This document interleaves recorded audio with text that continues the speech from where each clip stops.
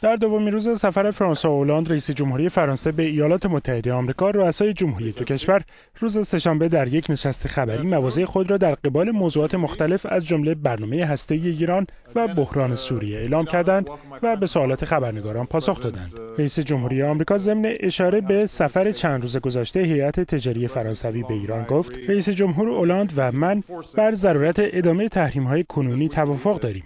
حتی اگر باور داشته باشیم که این تحریم ها روند مذاکرات دیپلماتیک را به خطر می اندازد. باراک اوباما در خصوص بحران سوریه تصریح کرد در حال حاضر به راه حل نظامی نمی اندیشد. فرانسوا اولند نیز با تاکید بر ضرورت یافتن راه حل سیاسی برای حل بحران سوریه گفت ما آماده استفاده از نیروی نظامی بودیم اما راه دیگری یافتیم و مذاکره را آغاز کردیم بخشی از سلاحهای شیمیایی را نابود کردیم اما هنوز راه حل سیاسی پیدا نکردیم در این نشست خبری هر دو طرف بر عمیقتر شدن روابط دو جانبه تاکید داشتند و از همکاری دو طرف در مبارزه با تروریسم سخن گفتند. گسترش روابط تجاری دو جانبه نیز در کانون توجه دو رئیس جمهوری قرار داشت. فرانسوا هلند روز چهارشنبه در ادامه سفر خود عازم دره سیلیکون در جنوب شرقی سان فرانسیسکو که محل حضور قولهای صنعت دیجیتال است می شود.